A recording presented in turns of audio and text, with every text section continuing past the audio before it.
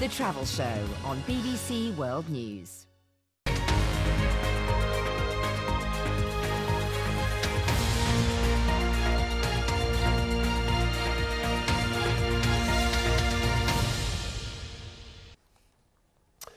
This is BBC World News. I'm Tim Willcox. Our top stories.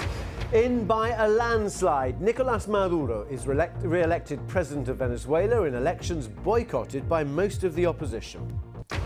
Fighting the Ebola outbreak in the Democratic Republic of Congo with a targeted vaccination program.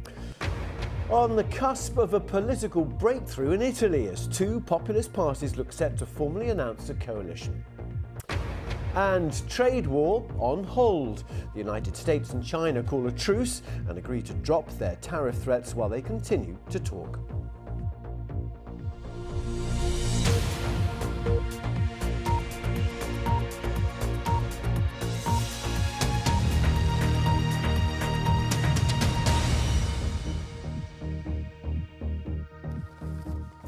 Hello, welcome to BBC World News. With his country's economy in freefall and the poll internationally condemned as fraudulent,